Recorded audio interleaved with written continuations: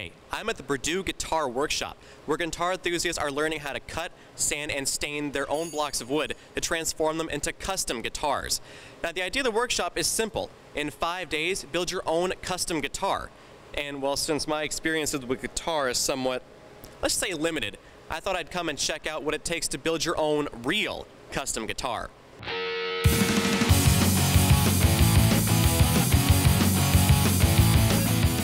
Guitar lovers from across the country have gathered at Purdue University to learn how to make their own custom guitar.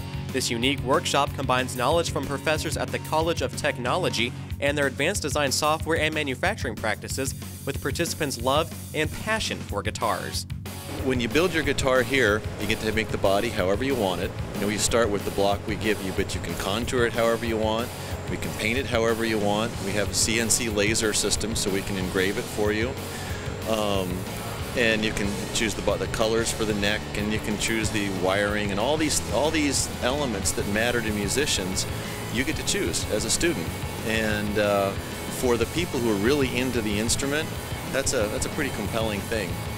It's engineering behind it. You have to you know sit down and make sure all of your measurements are correct make sure you know you're sanding everything right. It's just you know there's a lot of technology going into the computers and the design because if you don't if you get one thing wrong it's a guitar you know?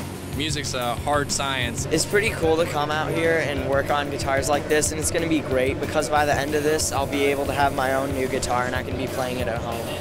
When i uh, take my guitar home yeah it'll be pretty good so it's something i made myself so whatever mistakes or whatever good things come out of it i did it not the manufacturing. It's uh, it has my touch on it so that's what i like about that all the sponsors have been really helpful building our guitars because we wouldn't be able to do it without them. And Purdue has been great about doing this and making it really fun for everybody. And we're building a quality guitar. People come in here sometimes never having, having built anything too complicated. At the end of it, they bring away their very own working, playable guitar, sometimes really nice guitars. And at the end of the week, they can look at something they didn't know they could do. The, the guitar is kind of like a Trojan horse. They come here because they want to make guitars, nothing else, and that's fine. That's absolutely fine. When we get them here, of course, we make the guitars, but in the meantime, we teach them something. It creates a teaching moment uh, where we can maybe uh, give them some career options that they hadn't thought of before. This workshop is a great opportunity that Purdue provides to any guitar enthusiast. And since I now know how to make one, maybe I should learn how to play one. You know, for real. For Boiler Bytes, I'm Kyle Cray.